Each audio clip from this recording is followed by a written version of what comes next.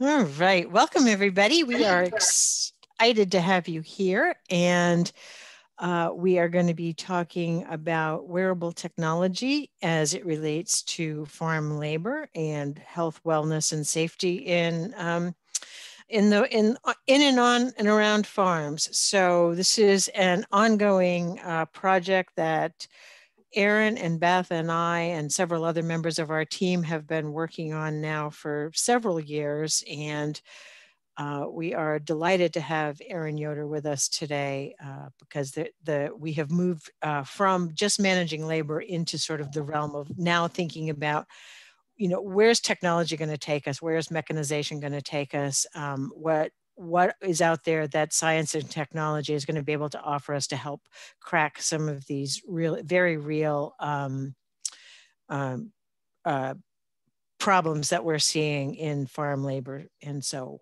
we're excited to have you all here today. We are recording this. The recording will be available after. And um, I will, without further ado, just say that I'm Mary Peabody with the University of Vermont Extension, and with me is Beth Holzman, um, and Aaron Yoder is presenting today, so I'm just going to turn it over to Aaron. Thanks, Mary. And you'll have to let me know if I start cutting up. I just got the message that my internet connection is unstable. So I do have a backup if I get disconnected, but just let me know.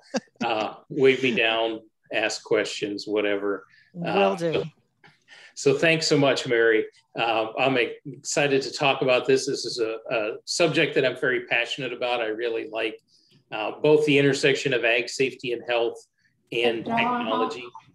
And, and uh, we'll make sure all you guys mute your microphones uh, while the presentation's going on, just to give you that reminder too, um, in case we have any background noises. So thanks for that. Uh, but at, with that being said, feel free to ask questions as we go along, either type in the chat. I know Mary will be looking at that and uh, when we get to the right point, we can answer the questions as we go through this. Um, so uh, a little bit of the logistics out of the way. So again, I'm Aaron Yoder. I'm from the University of Nebraska Medical Center. Um, I'm in from a College of Public Health. Um, and one of my major um, projects and all most of my projects go through the Central State Center for Ag Safety and Health, which is a NIOSH or National Institute for Occupational Safety and Health uh, funded ag safety center, and there's uh, I believe 11 of those around the country. So there's probably one that covers your region or close to your region. Um, so you can always take a look at those as well um, when you're looking for resources like this. Um, and feel free to reach out to me at any time if you have questions uh, about different topics that I might be able to cover. So we're going to start uh, by looking at what we're going to try to cover today. So again, taking a look at um, health and safety hazards, being able to identify those, and especially the ones that we think we can make an impact on or reduce with wearable technology. And we'll get a little bit into what that is and what wearable technology is. So I'm using the broadest definition possible, everything from the cell phones or other technology that we carry with us uh, to specific devices that we add um, to our stuff and then um, discover what data we can collect with this wearable technology and how we can use that, and then how to select different technology apps um, and so forth as we go through that.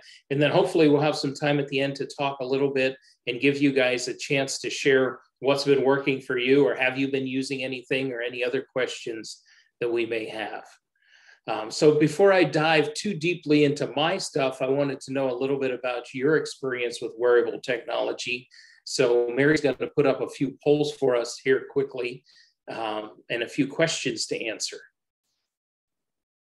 So feel free to, to answer those and come, uh, hit your submit buttons and we'll roll through those. Okay, well, I'm not seeing any surprises on this one. All right. Uh, let's see. Next up. Uh, let's see if we can.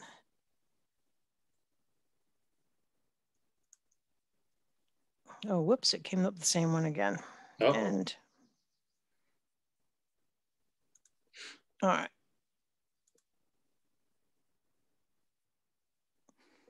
Next question. Have you ever used wearable technology? in the broadest sense of the term. Okay, looks like we've got quite a few. All right. Good to know. Mm-hmm. And let's see. And next one is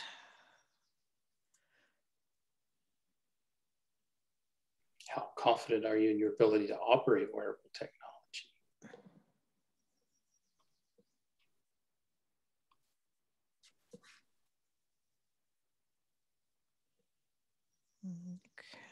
Okay.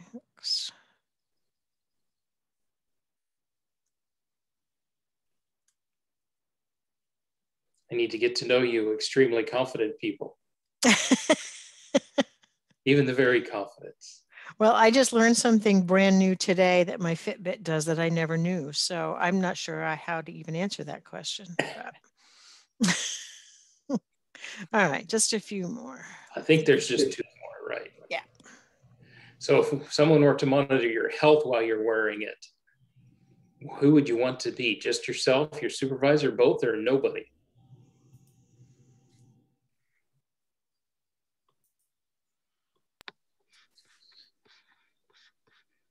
Okay. Not surprising. Interesting. And one more similar question, but it's about monitoring your work environment. So the environment, the previous question was health, and how it's looking at the environment around you while you're working.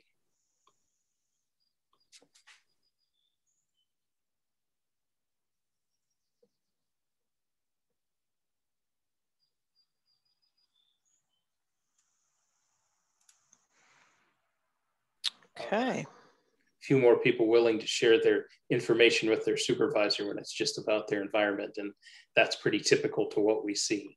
Mm-hmm. And last right. one. Oops, nope. I think we already did that one. Yep, I think that might be all of them we have in the That system. was it. Yep. Thank you, Mary. So that gives us a little bit of insight about who we're working with and who uh, who else that we're going to talk about, or who else uh, how we're going to talk about some of this stuff and how it comes into play and similar to what we found in other arenas. Um, so what I was going to do is start off with some of these different, as you can see on the first goal there, some of these hazards and then how we can apply wearable technology to that. So the first one looking at is noise injury or noise induced hearing loss, if you want to call it that. We know about two thirds of the farming community have some sort of limitations to their hearing based on exposures that they've already had. And this is pretty typical even in the general population uh, from lots of different exposures that we have out there. Um, we know that with that there's damage done to the inside of our ears and the cochlea, and that this damage is not repairable. Uh, once we destroy those, they don't grow back, they don't fix themselves. A lot of our bodily functions fix themselves if we hurt, injure them. Our hearing's not one that it does. Um, typically, it's a painless process. You know, we might have really loud noises that hurt our ears, but the damage that occurs to our hearing occurs over time. And also, we know it's preventable by not being exposed to those larger sound or those louder sounds and so forth. So, um, this is something that we can have an impact on it. It's something fairly easy to. I put the table up there, and there are different charts and tables depending on work sites and who the regulatory bodies are and that sort of thing, as far as when hearing damage occurs and what we should be protecting from and how we should be protecting from that. So when we take a look at um, hearing protection, we look at the, the hazard or how loud the noise is and what the length of exposure is, and then how long we're working in that environment and then the type of hearing protection. So the decibels of protection there or the dB rating that we take a look at. So those all things will come into play when we're looking at the wearable technology on the next few slides. So when it comes to protecting ourselves from noise related injuries, there are many different tools out there that we can use. I need to click back on the slide. First off, we need to know what type of hazard are we being exposed to and how long. So um, industrial hygienists and others use tools called sound level meters so that we know how loud the environment is, a, measurement of the loudness of the environment we're working in. There are several apps we can download for our phones, and these have been proven to be fairly effective um, at measuring those over either points of time. Um, one that I like to recommend is called Decibel X, or it used to be called Decibel 10. Um, but what it does is it can log that over time. So if you want to record some noise exposure over a period of time. You can have this running while you're doing it different tasks or purposefully putting it in a location to monitor that. Um, we can set different alerts and that sort of thing to alert us when sound levels something that I discovered. and I know Mary just mentioned she discovered something with her Fitbit. Uh, I can remember the first time I was at a sporting event in a gymnasium, and my watch told me that the noise level in when my surroundings was too loud. So this is an example from the Apple Watch. There's actually a noise monitoring uh, app that's built in there that tells you, and you can see some examples at the bottom there of when the noise levels are okay, whether it's too loud. It gives you a little bit of information, and you can actually set a threshold of when you're notified when the noise levels are too loud. Um, so this is just one example of, of monitoring that sound, but starting to get to the point of how can we protect ourselves from that. But monitoring is sort of the first step when we get to that. Um, when it comes to the actual hearing protection, there's some different types of devices out there that I like to recommend, and we've been testing out with different groups. Um, this one comes from Ryobi. It's a tool that uh, the little green power tools you find at Home Depot, um, built by Ryobi. They have a whole suite of tools that works with smartphones. And I found this one to be useful on the safety and health side is its actual certified hearing protection Remember on that first table, we talked about decibel reductions. These actually have a great noise reduction rating, um, as well as one of the big arguments we get when we wear hearing protection is we can't hear what's going on around us or our situational awareness. This actually allows some sounds to go through. Um, what it does is it has a microphone on the outside and speakers on the inside. So you can listen to other things, take phone calls, whatever it may be, but it does provide hearing protection. And as we'll get to later, and taking a look at why people wear stuff and how we can get them to continue to wear stuff, the more things something do, the better off it is. So that this allows us to do more things than just protect our hearing, encourages people to wear them. Um, so it's a certified, has a noise reduction rating, it's been tested, and then it also filters sounds. Um, I see quick question where you buy this. So Ryo, uh, Home Depot's website or Ryobi's website will point you into places. Um, Ryobi uh, exclusively sells their stuff through Home Depot, um, and that's normally where I order them is through Home Depot's website. They cost about twenty dollars, which is a pretty cheap tool to use, and it's one you know for just looking to get into this. Um, it's one that's pretty non-invasive to get workers to use or for us to use. They're great for mowing your lawn or doing other tasks that you do on a regular basis if you're not always around loud stuff. There are other manufacturers. This is one from 3M. Here you can see they're called EAR buds, so Peltor earbuds, and they come with different tips, um, volume control, other thing like that. So there's other brands of these out there as well. Uh, one thing about the Ryobi one is it comes with an app where you can filter out like high, low, or medium frequency sounds. So if there's an annoying sound or a, an overwhelming sound, you can filter that out and still hear the other sound levels around you. Uh, the 3M ones just work like regular earphones, but they isolate the sound and only allow the sounds that you want to go through.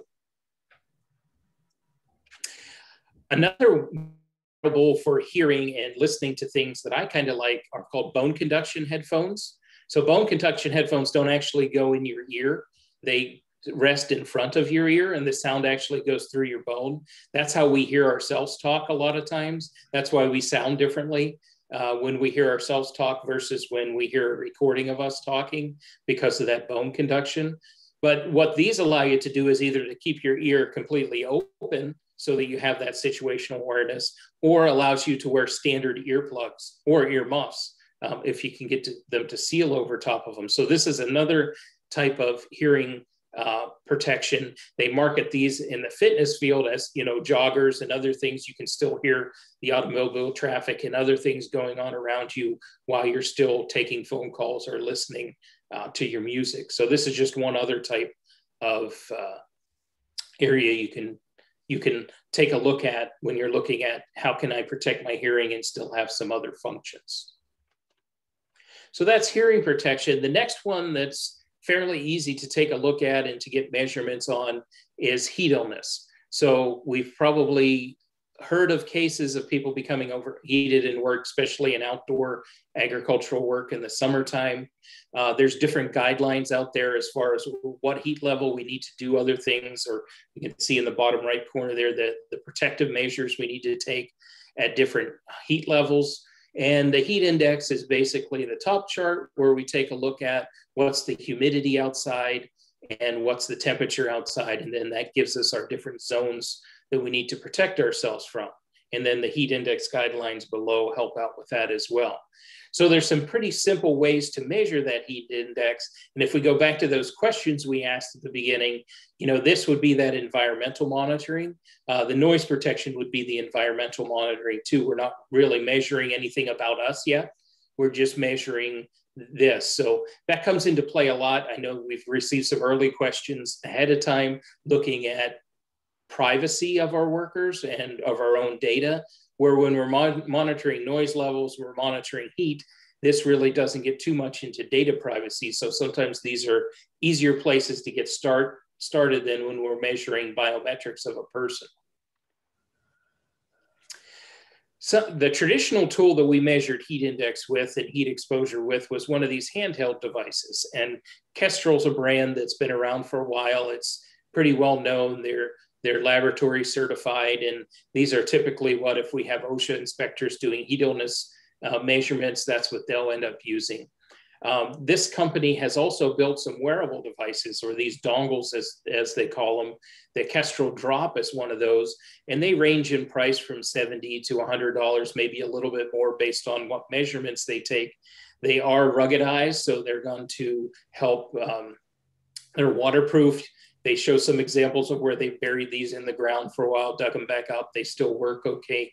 And I've been using these in a couple different studies and they've worked very well and been durable. They do chew up batteries a little bit because they're always on. Um, so being prepared for that is a, probably a different discussion of managing the wearable devices. Um, these can be found on Kestrel's website as well as Amazon carries them depending on where you like to buy things. Um, I haven't found them in actual big box stores or any stores like that yet. Um, but one thing nice about these, they do come along with an app that supports them. They communicate through Bluetooth. So any Bluetooth device we have, which uh, those newer smartphones all have in them, uh, you can put multiple devices onto one phone. This is probably something you don't have to have on each one of your employees, but it's important to have them in the location of the employees. We'll get a look, take a look a little bit later at OSHA has a heat illness tool for a phone, and um, it pulls the weather from the closest weather station, which may not be very close to your actual location. Typically, they're at airports, which might have totally different weather than where you're actually working. So, managers or others, um, not every worker would have to have these, but someone in the vicinity of your group of workers uh, could help monitor that. You can set the app up to give you different um, warnings, uh, tell you when to take a break. If we remember on that chart, um, at different heat levels, you should be taking breaks, drinking certain amounts of water. So you can use this app to help you uh, remember to do all of that, as well as keep a log of what the working conditions were for that period of time. Um, so they're a very useful tool for monitoring heat. So that's taking a look at the heat index and preventing heat illness. Then we can go to the other end of heat illness and look at detecting heat illness. So if uh, we want to monitor the actual person, so this gets more into the biometrics. Um, I started a study a long time ago when Microsoft still made their um, wearable devices, looking at how can we detect fevers in people. Um, so that same technology that we use to detect fevers, skin temperature, skin resistance, those type of things, uh, heart rate, bringing those all together, we can also detect heat illness in people or the early onset of heat illness so that we can get them treatment uh, before the heat illness becomes too severe. So different types of wearable devices allow us to, to do that as well. Um, there's not one specific one out there right now that I would recommend for that. You sort of need to see your situation, what your budget is, um, we used the Microsoft Band in our study, which they no longer make. Um, so we'll have to take a look at if you're interested in that type of study or that type of monitoring. Uh, I would say it's better to monitor the environment and prevent the heat illness than trying to detect it with early onset of heat illness. Other types of things that we measure or other types of injuries, um, I classify these as ergonomic injuries. So, how do we prevent repetitive movement injuries? How do we prevent stress over stress injuries, overwork type injuries? So, how do we help better fit our tasks, tools, and work environment to the people that are doing the job? And one way that we can do this is through heart rate monitors. And I'll give you some examples here, but here are some, some heart rate monitors that I like to use. Uh, Polar, which is the, the one on the right, has been well known in the fitness industry, the, the Polar brand for heart rate monitors, everything from chest straps, which it's really hard to get workers to wear chest straps unless you incentivize it. Uh, but there are other types of heart rate monitors. We know our watches, our Fitbits. This is just a band that goes around your arm. Um, it also has a clip so that it'll fit onto a hat or a hat band. And you can even stick them on your waistband to monitor your heart rate. So there's other places to locate those. And part of selecting the technology you'd like to use is the compliance or how much people are going to actually use the devices as well. Um, another heart rate monitor that I really like, we talked about hearing protection and stuff early on. This is another set of headphones that don't offer official hearing protection, but they do have a heart rate monitor built into them. You can see the headphone on the left there has the little heart symbol, and it has an optical heart rate uh, sensor that works from right inside your ear. So another place to, to collect your heart rate from and another type of device, again, that adds some other functionality to it other than just collecting your heart rate. One project that I did where we were looking at optimizing hand tools. So with the Green Heron Tool Company out of Pennsylvania, uh, when I was at Penn State, I worked with them. And then since I've been here in Nebraska, um, developing a hand tool. There you can see their wonderful shovel on the right side with the big green handle. But early on in our testing on the picture on the left, you can see all the different apparatus we had hooked up to a person. We were monitoring their oxygen consumption, their movement, the little yellow dots on their legs and up over their body to look at some bio, biomechanics, um, as well as heart rate monitors and other things like that. But after those studies, we came to figure out that mo just monitoring heart rate was enough to give us a good um, feedback on how a tool was for a person to use. So obviously the higher the heart rate with the same task in a different tool uh, meant that the tool didn't fit as well. So keeping our heart rates low while we're using different types of tools or doing different tasks helps us fit the task or the environment to the person better um, than um, just using whatever tools available. So that was one of our big purposes of that study was to figure out how do we monitor that and how do we des design the ideal tool uh, for people out there working. And this is just an example. This uh, heart rate band that I have listed here is one that you can grab on Amazon for about $20 versus some of the more expensive heart, heart rate uh, monitors or some of the other ones. Um, I should have mentioned on this page, uh, the Polar one's around $80. Uh, the headphones, I think, are around $100. So if you're looking for a lower cost heart rate monitor, um, that's where some of these other bands uh, come into play. If you're just looking at single functionality, some of them also will give you alerts like vibrations and other things like that when you set limits that uh, you don't want to exceed. So that's one example of that. Um, another example of something we can monitor um, when it comes to workers. And I think we had a question early on about this about fatigue. So, how do we measure fatigue? We know this is a study I found from the National Safety Council, just looking at overall workers, that we know that, and I don't know, only 77% reported being ex- fatigued at work. I, I, would think that would be a little bit higher, but um, And then about 40% of them actually admitted to saying they believe that fatigue uh, played a role in being in, injured at the workplace uh, or caused a serious injury in the workplace. So we know fatigue can impact that. There's lots of studies out there. So by mo- monitoring our fatigue, and one way of doing that is monitoring our sleep. And a lot of the fitness trackers these days do this. And I should have mentioned early on, I just said fitness tracker. Um, the fitness industry has more money and more ambition to spread uh, around when it comes to these type of monitors. So there's lots of things we can learn from them. The sporting industries, now we know that uh, sports teams are monitoring their players at practices and even during events. They can tell how hard they're working, if they're not working hard enough, if they're overworking. I'm not sure we want to apply those concepts to agriculture maybe yet, um, or not all our workers want us to apply that to them yet. But we can still learn from what they're doing and how can we apply those concepts to keeping our workers safer and healthier. And this study sort of leads into that a little bit as far as trying to monitor um, sleep is one of the ways that we can monitor fatigue. Other things we can do, and other studies out there have looked at gait, so how people walk based on how tired they are, um, how stable we are as far as when we stand still, do we sway very much? And there's other studies that have looked at that. But for us to do it on our own, sleep is one of the biggest ways that we can monitor fatigue um, and making sure that everyone's well rested to reduce that. Uh, but there are other measures, like I mentioned, that galvanic skin resistance that we use to protect heat illness can be used to measure fatigue, um, as well as um, heart rates, resting heart rates, and those type of things can all change when we take a look at measuring fatigue in people.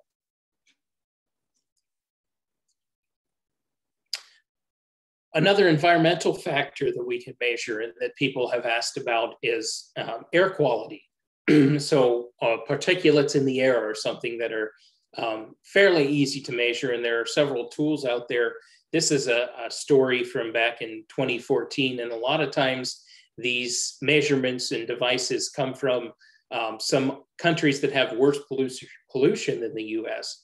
Um, so a lot of foreign countries have developed these. There are different ones coming and going, and that's something I should have mentioned early on too, and we and when I will when we talk about selecting them, is some of these, and I already hinted to that with the Microsoft Band going away. Some of these devices come and go. So when we're developing policies and systems to use these devices, it's good to make them flexible because we're not may not always have the same device that we built our system around or built our protocols around available in four or five years. Um, so it's a pretty fluctuating market as far as what devices are available out there. Oh, but there are devices that measure air quality. Uh, a lot of times they just based it on not necessarily the type, but the quantity of particulates in the air. Uh, but that can give us a good indication um, based on our location and other places. This is actually a, a newer device uh, that came out from Plume Labs that takes a look at air quality. A lot of these, I think it's funny, they say they're affordable sensors, but they're still around $100 for the air quality sensors. But again, it's something that not everybody has to wear. If one person in the work site has it or there's one on location, um, they can do this. Um, a lot of times they put the data into crowdsourcing sites so that you can create a map of where the different data is at uh, or what the air quality is. Uh, I've seen the same thing with noise and noise measurements. There's some crowdsourcing um, sites that do that as far as noise data. So when you go to buy a house, you know what are the quiet and the loud parts of the um, neighborhoods. So, but we can use that same technology at the work site to see where are the loud spots, where do we need to wear hearing protection, where is it recommended, where is it less likely that we need to have it, uh, working out in the field without machinery versus working around machinery or on the farmstead. So there's lots of different areas that we can create these maps uh, potentially down the road. Um, so we can monitor at the individual level or we can monitor at the farm level.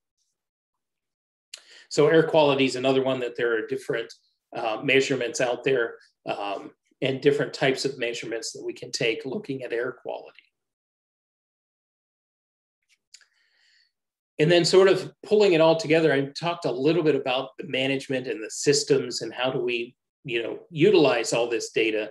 This was actually a project and a, a technology that was started because of a gentleman um, in northern Indiana that had asthma and he wanted to continue grain farming. So he created a system of cameras and automated augers and motors that he could turn on and off as grain augers and monitor those with cameras and uh, his smartphone from within his side inside his truck.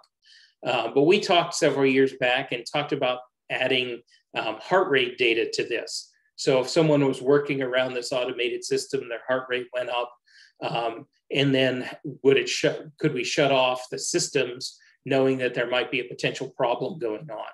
Especially if we asked a question and said, "Hey, is everything okay?" They don't respond, then we shut down the grain handling system um, as some added protection. So there's still a lot of work to be done when it comes to the automated systems and how we integrate all these different sensors. So we know there are sensors out there that we can utilize.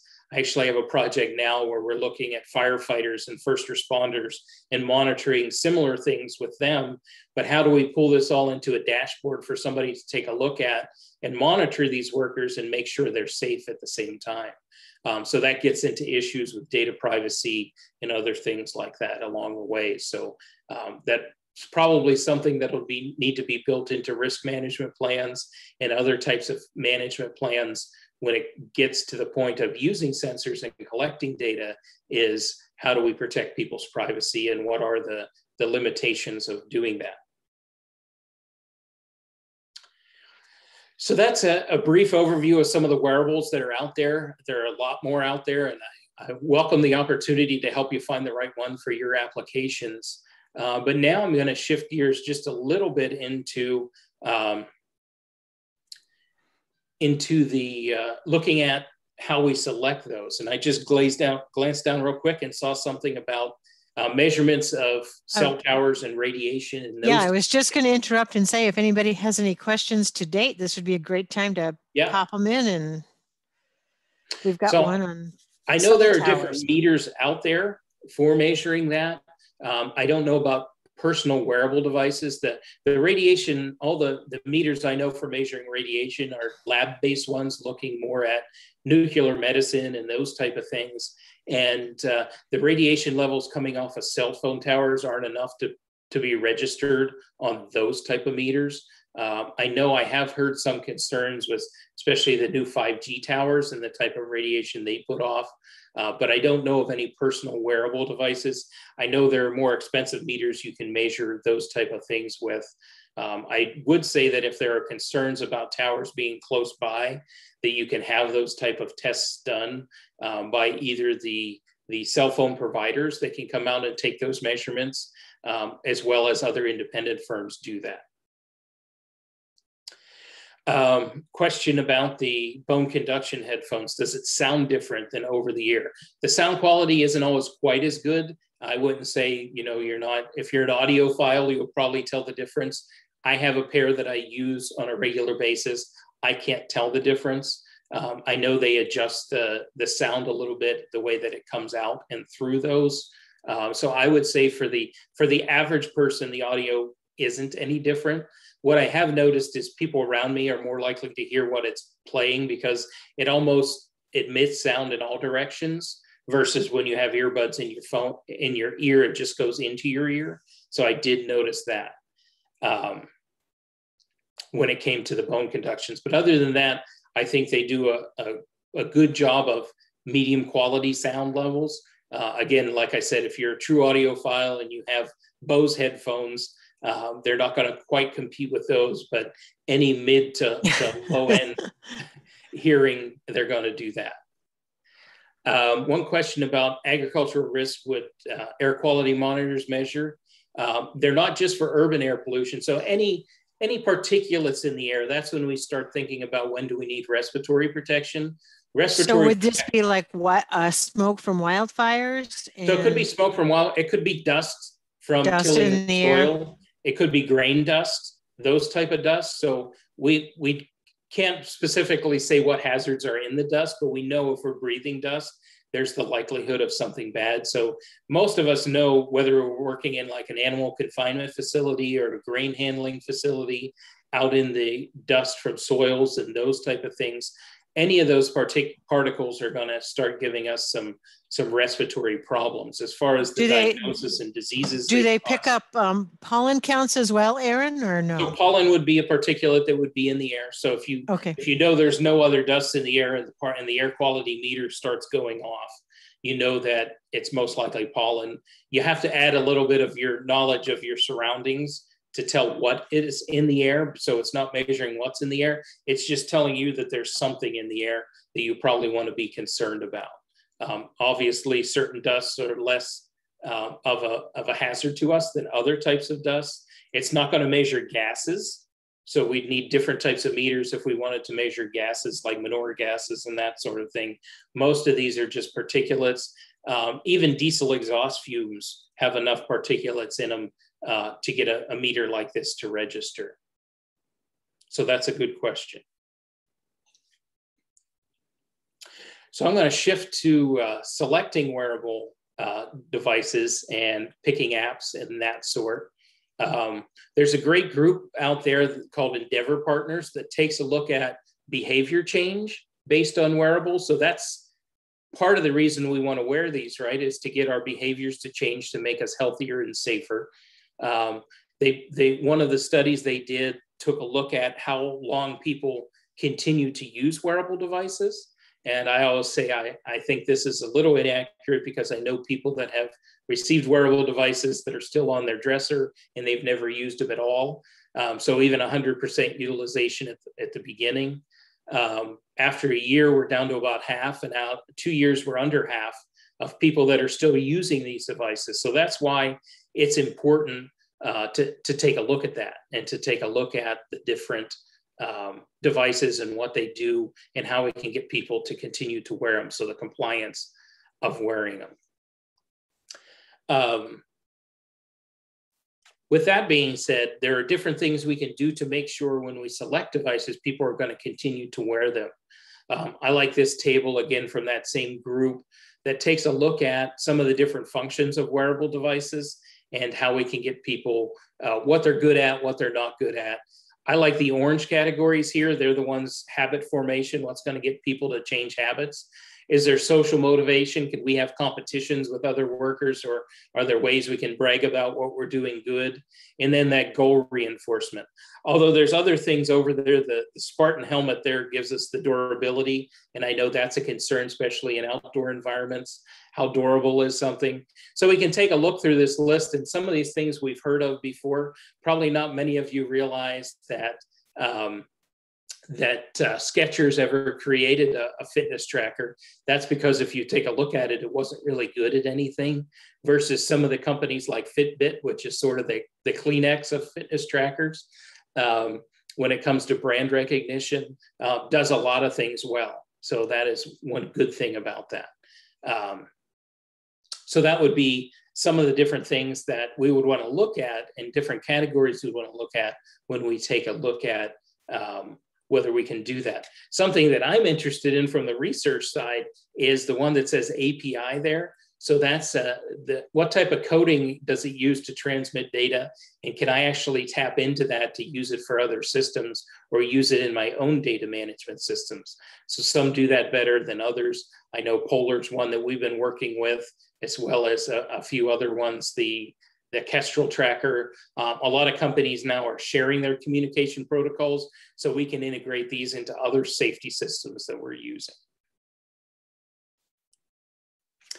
So as all good researchers, me and a few of my friends that I think at least a couple of them might be on here from their institution at the Marshfield Clinic, um, took a look at how do we, how can we give people a tool to evaluate different technologies that they might be using for health and safety. So we did this research project, did uh, wrote a paper about it. Uh, there's some more links to it later on, and I think we'll share this um, as well, this presentation uh, to anyone that would like to see it.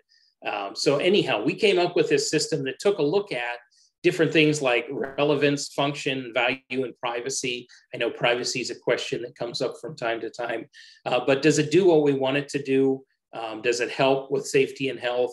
Does it perform how it's supposed to? Is it usable? We've all had those apps that we've used that we couldn't figure out how to get somewhere or how to enter data or how to find the data that we're looking for. And then things like value, advertisement, privacy, those things.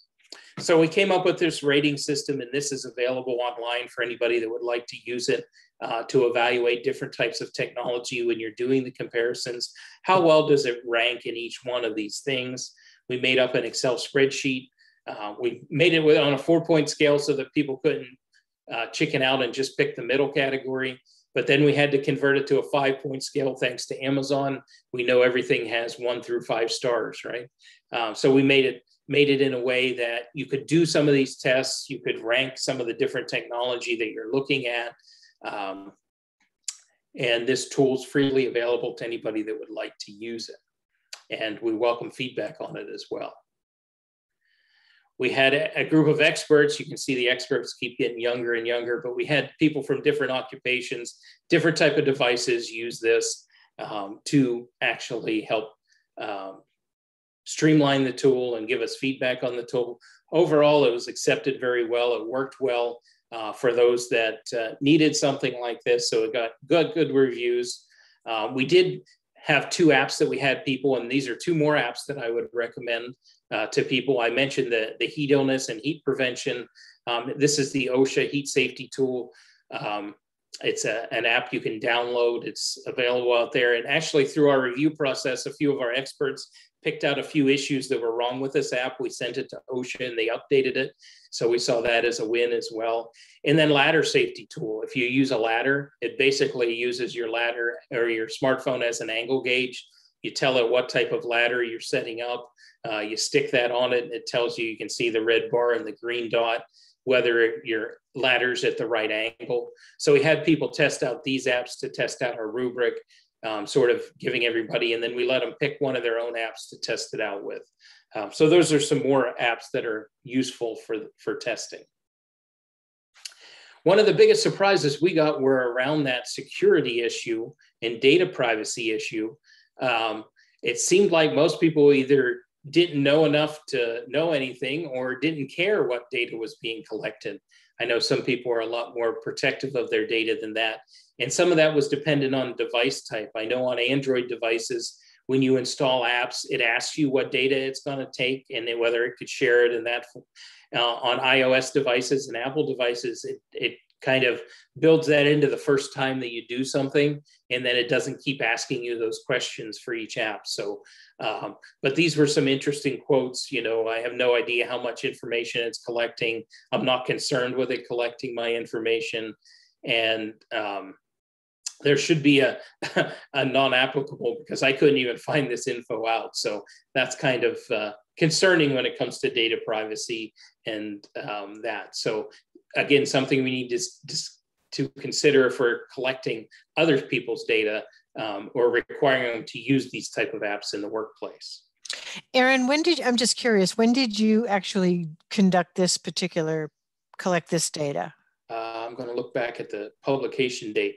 Um, does it say when it was published there? 2016. So it would have been around 2014, 2015. Okay, so I wonder if that that would change now, just because we've had so many big data breaches. But it may in the in the past few years, you know. But yeah. I think a lot of people. I mean, this data isn't really data that is sometimes personally identifiable mm-hmm. Um, mm-hmm. because it, it doesn't tie in. It's nothing that people could, you know, create a new bank account with Right, right. You know, so it's not that type of personal information, but it is still our health information, um, which could be concerning in in most situations.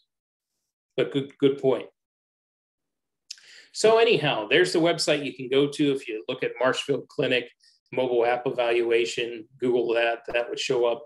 We did see that it was valuable. Um, we do think it's a, good to try to standardize some of the evaluation in this area and that this tool could be or will be useful uh, for safety specialists, managers, and even workers when it comes to selecting different types of technology to use related to health and safety. So that's a, a little bit of a tool and some of the thoughts we need to consider when we start collecting technology. I did also want to list, we have a e-extension site that lists some ag safety and health mobile apps. Um, there are a few games out there uh, that we've created throughout the years, and this gives me a, a moment to, to plug another project that I didn't put in here, but I see Sue was one of the participants. Uh, we created a virtual reality, or she and her group created, I just assisted a little bit, created a virtual reality tractor driving for training uh, different types of um, hazards that are out there. It was designed for nursing students, but we're looking to expand that and maybe use it. We've had some exciting conversations even post development. We just had a, a, public power district reach out to us and say, "Hey, can we can we include overline, overhead power line safety or power uh, generation safety in this as well?" And um, so it's exciting to see where that may go. So there might be some virtual reality and other stuff we can include in here. Um, I can re- I remember several years ago at a, uh, a, USDA conference, their Outlook conference that talks about technology. Um, they were using virtual reality to train meat inspectors because they had a high turnover. People would sign up to become a meat inspector. Their first day on the job, they would quit because they didn't realize what it was like inside of a meat packing plant.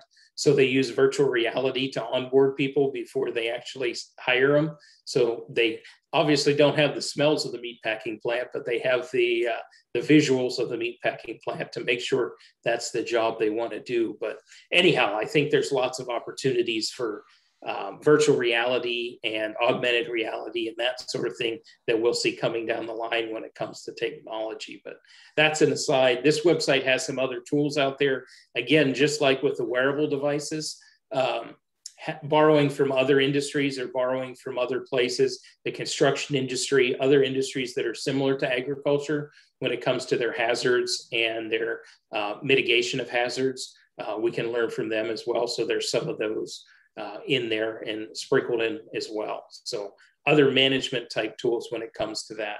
Uh, picking the right tools, machine sizing, that type of thing, that all plays a role in keeping us safe and healthy out there um, as we're doing this. Another program, and I think we have some people from this as well on here, um, that is technology that can be integrated into other aspects of, of agriculture. This one was a creating maps of your farms and listing where the hazards are. And it was aimed at first responders, but this is also a great way to train employees to let them know where the different hazards are, uh, to help them participate in this. And again, you know, the tie between the technology and back to our first responders um, is, is always useful. I mentioned another project I have monitoring first responders. Um, and then there is an overlap between the first responders, you know, the rural rural areas having volunteer firefighters that include a lot of agricultural employees in that group. So there's some overlap between the group. So a lot of times our first responders are good safety and health managers on agricultural sites or a great place to look for resources when it comes to that. Uh, preventing heat illness, all those type of things are things that they've been trained in as well at their other job, if you want to call it that. So I'm going to, that's all I wanted. I've talked for 45 minutes now, or almost 50 minutes. Does anybody else have anything they'd like to, to share or uh, success stories with technology or anything they'd like to advertise that they've been working on? I know we have a mixed group of, of researchers, practitioners, and people that are actually out there working in agriculture. So um, I welcome any of that. Feel free to open your mics and talk or um, put it in the chat. I know some of you aren't that bashful. I'm going to put up the credit slide while we uh, talk about that. So do we have any other input, questions, comments? I don't see anything right now, but I will just take a minute and say thank you, Aaron, for being here today and um, this, if you have, um, as I said, this is a multiple year project that we've been working on related to farm labor, and uh, we're just starting now to um, take a look at uh, safety, ergonomics, health, things like that. So if you have suggestions for us, um, if you have topics that you'd like us to explore or that you'd like us to know about, please feel free to share those at any time. Um, this will be up on our uh, farm labor dashboard, the recording as well. And we are in the process of developing sort of a farm labor learning network, which is really open to anybody who is interested in these types of topics and, and really just wants to share ideas and uh, maybe collaborate on future funding proposals. So if you're interested in that, just please drop your email in the, the chat or let us know somehow. Yeah, and like I said, feel free to reach out at any time with comments or questions. I'm always looking for uh, new directions to go, more stuff to do. And if you have money to throw at it, that's even better.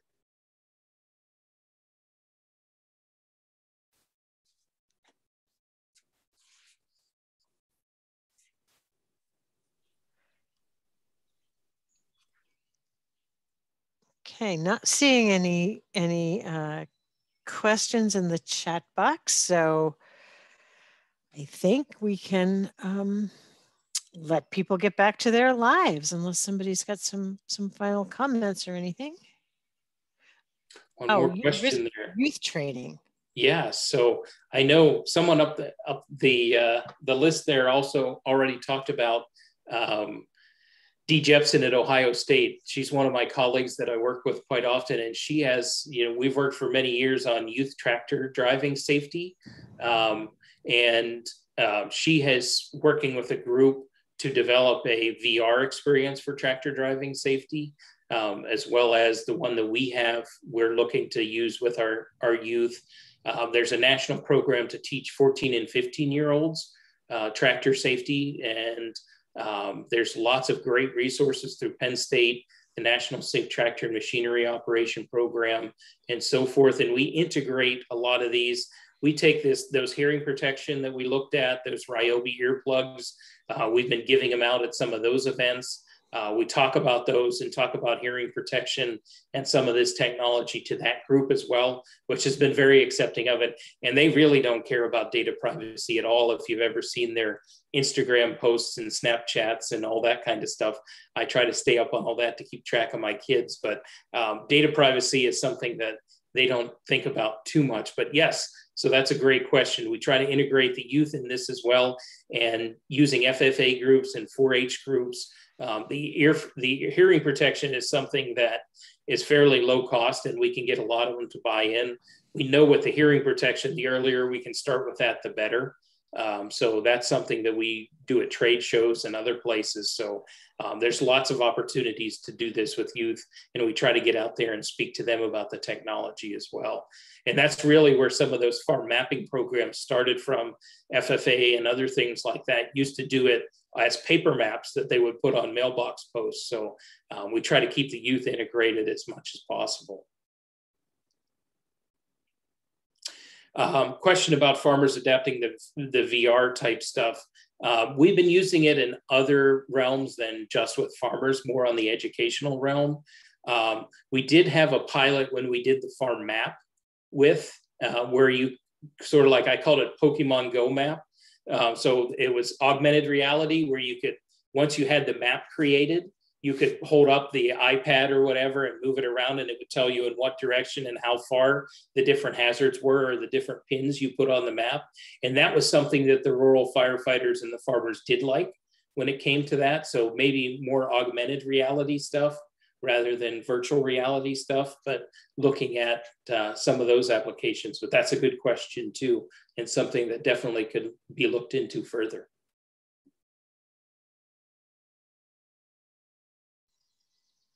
Great questions.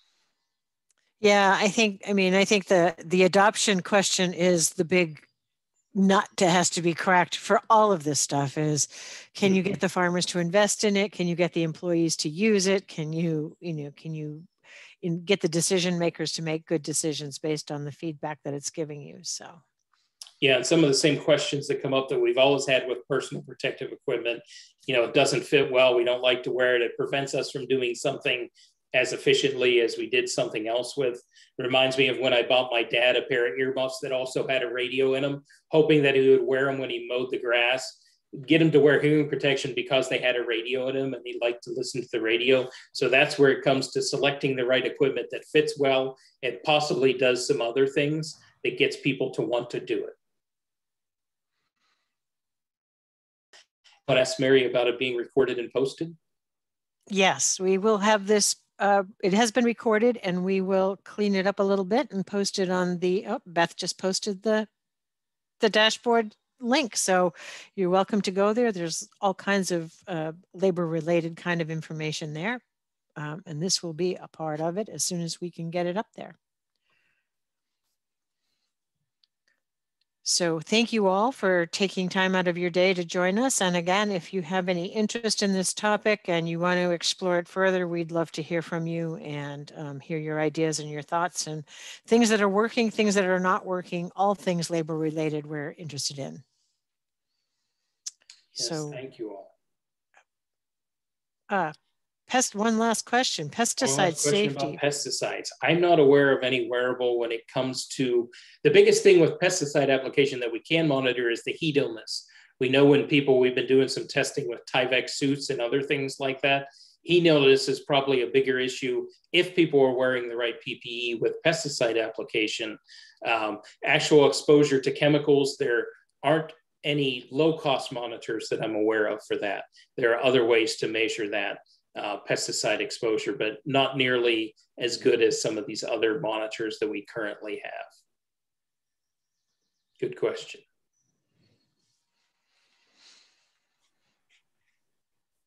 All right. Well, thank you everybody for joining us and we will um, see you all next time. Thanks, Aaron. You're welcome. Thanks, everyone.